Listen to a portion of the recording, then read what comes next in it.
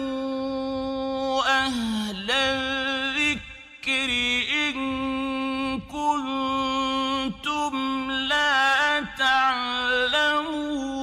تعلمون আসসালামু আলাইকুম রহমতুল্লাহ এখানে অত্যন্ত গুরুত্বপূর্ণ একটি প্রশ্ন করেছেন বোন আল্লাহ আপনাকে উত্তম বিনিময় দান করুন প্রশ্নটা হলো যে জীবিত উপস্থিত কোনো পরেশগার আহ, লোকের ওসিলা এই জিনিসটা অনেকে ধোকা খেয়েছে বা অনেকে বুঝতে পারেনি।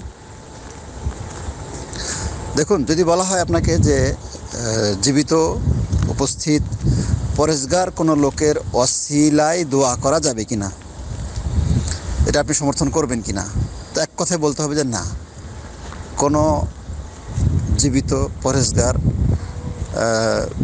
এবং উপস্থিত লোকের অশিলায় দোয়া করা যায় নাই।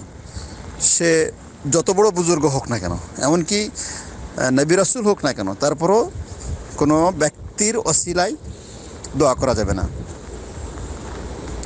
সে উপস্থিত থাকলেও তার অশিলায় দোয়া করা যাবে না। অনুপস্থিতিতে কোনো প্রশ্নই আসে না। আর, জীবিত থাকলেও তার দোয়া করা যায়, তার অশ্লীলে দোয়া করা যাবে না। আর মারা গেলে তো তার কোনো প্রশ্নই আসে না। এটা তো কোনো ভিত্তিই নাই মা- বা ইয়া নাই। জীবিত ব্যক্তিরই অশ্লীলে দেওয়া যাবে না তো মরা মানুষের অশ্লীলে কেমন করে দেওয়া যাবে? তো তাহলে আহ, আপনিও আমরা যে ক্লাসে পড়াইছি সেটা হলো মানে উপস্থিত জীবিত উপস্থিত এবং পরেশগার লোকের দোয়ার অশিলা করা যাবে। দোয়ার অশিলা করা যাবে। তার মানে কি?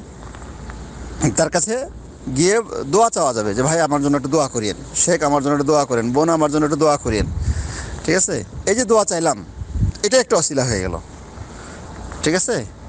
যে বললাম যে, ভাই, আমার জন্য দোয়া করেন। বাবা, আমার জন্য দোয়া করেন। আমার জন্য একটু আল্লাহর কাছে ক্ষমা প্রার্থনা করিয়েন আল্লাহ যেন আমাকে মাফ করে দেন। আল্লাহ যেন আমাকে এই ভালো কাজের তৌফিক দেন। এই যে দোয়া চাইলাম কোনো মানুষের কাছে, তো এটা এক প্রকার অশিলা হলো। তো কেউ যদি বলে যে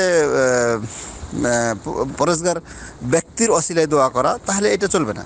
ব্যক্তির অশিলায় দো- চলবে না, কিন্তু ব্যক্তির মাধ্যমে দোয়া করায় নেওয়া যাবে, তার কাছে দোয়া চাওয়া যাবে। তো এটা হলো কি? এটা হলো যে আল্লাহর কাছে আপনি দোয়া করছেন, আপনি চাইতেছেন, আর সেটা আরেকজনের, আরেকজনও চাইতেছে।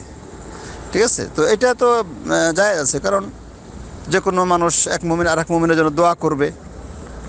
দোয়া করার জন্য আহ্বান জানাবে, যেমন জানাজা, যখন কোনো মানুষ মারা যায় তখন অন্য মানুষকে ডেকে আনা হয় জানাজা পড়াবার জন্য। তো জানাজা পড়তে এসে তারা কী করে? দোয়াই তো করে, তাই না? তো দোয়া করার জন্য তাদেরকে ডাকা হয়। তো এই যে এরা জানাজা পড়তে এসে যারা দোয়া করে, এটাই এক প্রকার একটা অশিলা হয়ে গেল। সবাই মিলে ব্যক্তির জন্য দোয়া করছে। তো এই আর কি। এই মর্মে হাদিসে আরও অনেক কথা আছে। তো ব্যক্তি অশিলা চলবে না বা ব্যক্তি ব্যক্তির মর্যাদার অশিলা চলবে না, বরং ব্যক্তির দোয়ার অশিলা চলবে। ব্যক্তির কাছে বা পরেশগার মানুষের কাছে দোয়া করার জন্য আবেদন করা যাবে।